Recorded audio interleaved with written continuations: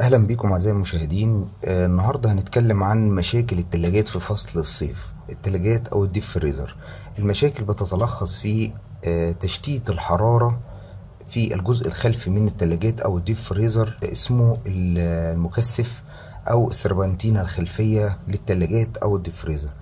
المشكلة كلها بتبقى لازم يكون في فرق في درجة الحرارة ما بين المواسير الخلفية ودرجة حرارة الجو عشان يحصل انتقال للحرارة من المواسير للجو وبالتالي تتخلص من درجة الحرارة وتقدر يكون في استطاعة للموتور إنه يعمل تبريد للكابينة الداخلية. طب في درجات الحرارة العالية لما تكون درجة حرارة البيت عندنا وخصوصا لما بتكون في المطبخ درجة الحرارة أحيانا بتوصل 45 أو 50 درجة في بعض المنازل. اللي ما بيكونش حواليها مباني ومفيش تكييف مركزي يعمل تبريد للمطبخ. فبتكون درجة الحرارة 45 أو 50 وبالتالي بتكون في صعوبة في تشتيت الحرارة اللي بتكون على المكثف أو المواسير الخلفية للثلاجات والمبردات. بيكون طبعا الحمل كله على الموتور لسببين. درجة الحرارة بتكون عالية في الجزء الخلفي وبالتالي الموتور بتكون درجة حرارته عالية. ثانيا كفاءة التبريد نفسها بتكون أقل لأن مفيش تشتيت للحرارة لأن التلاجات ملهاش مروحة للجزء الساخن أو الدايرة السخنة زي المكيفات أو التكييفات بتقدر تشتت الحرارة حتى لو الجو حار بالمروحة اللي موجودة. التلاجات والديب فريزر ما فيهاش المراوح الخلفية وبالتالي بيبقى في صعوبة في تشتيت الحرارة وبيكون ده حمل على الموتور لأن كفاءة التبريد نفسها بتكون ضعيفة زي ما بنقول. فمده التشغيل بتكون أطول. يعني لو خدنا بالنا إن في الشتاء مثلا ممكن تشتغل ربع ساعة وربع ساعة تفصل هنلاقي في الصيف ممكن تشتغل نص ساعة وعشر دقائق تفصل أو خمس دقائق تفصل. طيب الناس بتحل الموضوع ده إزاي؟ آه طبعا الشركات بتنصح إن يكون في مسافة كافية بين الحائط وما بين المواسير الخلفية أو السربنتينة الخلفية للمبردات أو التلاجات. طيب المسافة تكون كام في حدود 25 ل 30 سنتي؟ ولكن دي ما بتكونش كافية في لما يكون البيوت فيها درجة حرارة عالية فالمسافة ما بتكونش كافية. لازم تبريد خارجي. التبريد الخارجي في ناس كتيرة بتحله بإنها تحط مروحة مخصوص للتلاجة أو للديب طبعا هو حل كويس ولكنه مش اقتصادي ومش فعال قوي لكذا سبب. اولا المروحة بتبقى شغالة من الصبح بالليل لغاية ما بيطفيها مثلا بالليل الجو بيتحسن فبيطفيها المروحة بتستهلك كهرباء. والمروحة نفسها الموتور بيستهلك لأن شغالة من الصبح بالليل 12 ساعة فالمروحة بتستهلك في استهلاك كهرباء. وكمان في نقطة تاني إن التلاجة لما بتفصل بتكون المروحة برضو شغالة. ومش ممكن حد يقعد للمروحة أول ما التلاجة تفصل يروح يطفيها وأول ما تشتغل يروح يشغلها. فطبعا بيكون الموضوع مش مظبوط.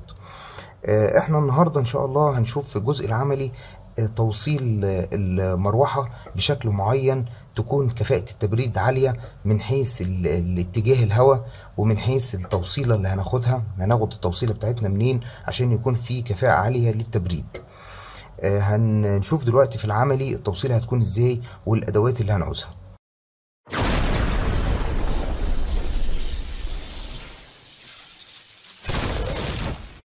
رجعنا لكم أصدقائي الطلبات اللي هنحتاجها. أول حاجة موتور تبريد ممكن نجيبه من عند أي حد مستلزمات غسالات وتلاجات. زي كده. ده موتور صغير خالص آه خمسة واط. يعني مش بيستهلك كهرباء. أهو. خمسة واط. تمام. دي بالريشة بتاعته بالكيس ده. بيبقى جاي معاه. ممكن يتثبت كده على طول. المسمارين دول يتثبتوا هنا في القاعدة في المكان ده. هنا كده نعمل خرمين ويتثبت هنا تحت الموتور لأن إحنا عايزينه يبقى بالشكل ده. إحنا عايزينه يبقى كده عشان يسحب هواء من تحت لفوق على السربنتينة أو المكثف اللي قلنا عليه اللي هو ده. تمام؟ طيب تاني حاجة هنعوزها معانا مفتاح switch. off و on ده عشان نفصل المروحة ونشغلها في الشتاء أو في الصيف زي ما إحنا عايزين. تمام؟ وآخر حاجة فيوز هيتوصل مع طرف من أطراف الموتور. عشان لو في أي مشكلة حصلت في الموتور ما يعملش قفلة ويضر حاجة في التلاجة ويعمل لنا مشكلة في الكهرباء. تمام؟ طيب هنشوف دلوقتي التوصيلة هنا هتبقى إزاي. دي المجموعة بتاعة الكهرباء بتاعة التلاجة. ركزوا معانا كده وهنشوف الطرفين اللي هنوصل بيهم.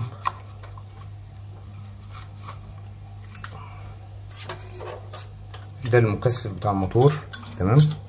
الطرفين بتوع المكثف اللي هم دول دول مش هنيجي عندهم خالص. إحنا هنمشي مع الفيشة ال 220 دي الفيشة ال 220 في طرفين اهم طالعين منها. الطرف البني والطرف الأزرق. الطرف الأزرق داخل على الموتور على طول. في اهو طرف أزرق داخل على الموتور على طول وطالع على دايرة التلاجة. الطرف الأزرق اهو معدي على الموتور وطالع على فيشة التلاجة. فيشة التلاجة فوق تلاتة طرف. تمام؟ يبقى عندنا طرف رايح للموتور وطالع لفوق الأزرق وفي البني.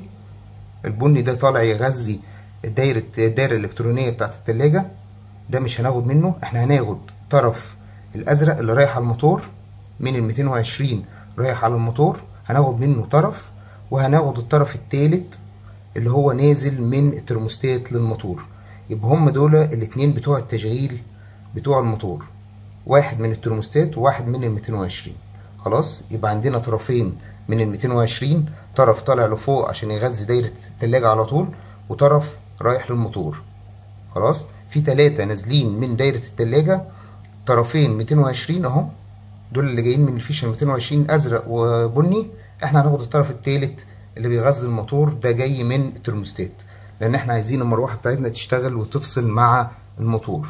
خلاص؟ هثبت هنا سلكتين وأرجع لكم تاني.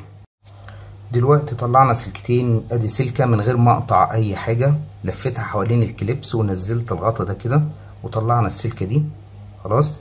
وأدي الطرف التاني اللي هو الفيوز. وصلته بالطرف التاني أهو. برضو دخلته مع ال clips ونزلت ال clips عشان برضو ما نقطعش ولا نعمل حاجة. خلاص. طيب كده طلعنا طرفين طرف اهو وطرف اهو بالفيوز. هنشوف دلوقتي نشغل التلاجة ونشوف الطرف الكهرباء ونوصله على المفتاح. خلاص؟ طبعا. التلاجة هتاخد وقت على ما تشتغل بعد ما أحط الفيشة فانا هختبر الطرف الكهرباء اللي هينور معانا. مفك test اهو مفك test زي كده. وبعد ما تشتغل التلاجة نخلي بالنا طبعا الطرفين ما يلمسوش جسم التلاجة خالص. اهو الطرفين بره كده والمكثف هنا بعيد. هنشوف أول ما التلاجة تشتغل هنشوف الطرف الكهرباء. تمام؟ وهنوصله مع المفتاح. ممكن أي طرف توصله مع المفتاح بس هو يفضل الطرف الكهرباء اللي هيدينا إشارة هنا هو اللي يتوصل مع المفتاح عشان في في الشتاء أو في الوقت اللي يكون الجو كويس وعايز تلغي الدايرة دي تفصل كده يبقى لغيت الطرف الكهرباء. خلاص؟ أنا هختبرهم دلوقتي وهوصل الطرف الكهرباء بالمفتاح وأرجع لكم تاني. بعد ما اختبرنا الطرف ده وحطيت الفيشة واختبرت الطرف ده ونور معايا الطرف الكهرباء وصلته على المفتاح ومن المفتاح لطرف الموتور.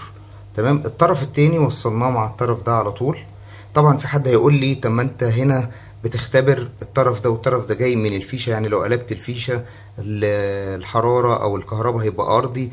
آه أنت كلامك مظبوط ولكن أنا حاطط الفيشة على الوضع بتاعها اللي هيبقى ثابت على طول مش هيتغير. فأنت تحط الفيش على الوضع اللي أنت هتخليه عليها على طول وتختبر هنا وتشوف الطرف الكهرباء توصله على المفتاح الطرف الأرضي هناخد منه فردة كده على طول على الموتور. تمام؟ زي ما قلنا المسمارين دول ممكن نخرم هنا في القاعدة من تحت في القاعدة هنا من تحت. مسمارين زي كده أهو. مسمار الناحية التانية أهو. المسمار ده أهو. مسمار هنا ومسمار هنا ممكن نخرم في القاعدة بس أنا عملت ال ال السلكة الحديد الصلب دي على أساس إن أنا يبقى فيه سهولة إن أنا أشيلها وأنضف تحتيها. خلاص؟ اعملها بالشكل ده عشان تتثبت كده. اهو يا جماعة الموتور كده اتثبت تمام. زي ما أنتم شايفين السلك نزل هنا تحت التلاجة وبقي ثابت. اهو.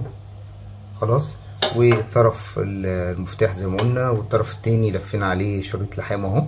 كده مش باقي غير ان إحنا نقفل العلبة بتاعت الكهرباء.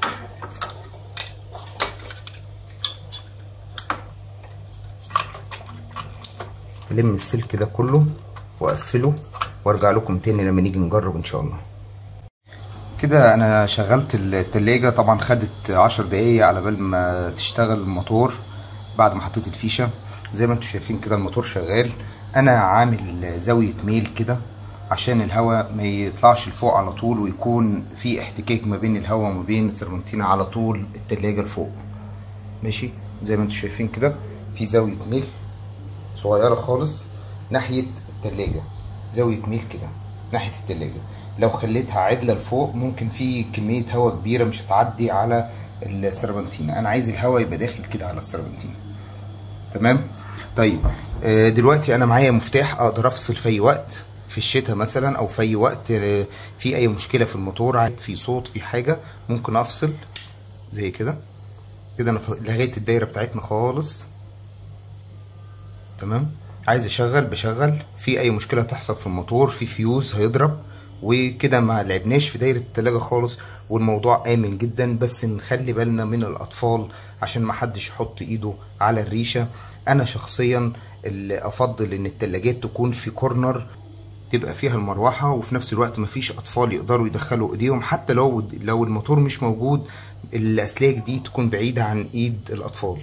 ده في حالة إنها محطوطة في corner إنما لو محطوطة في مكان عادي ممكن أي طفل يدخل إيده هنا يحصل صعق كهربي لا قدر الله يعني ولا حاجة فيفضل تكون في corner ده لو أمكن يعني. corner زي كده يا جماعة. بنقول زي كده. أهو. تمام.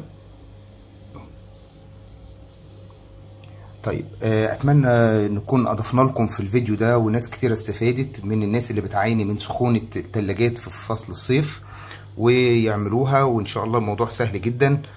ونشوفكم إن شاء الله في فيديو جديد وما تنسوش سلام.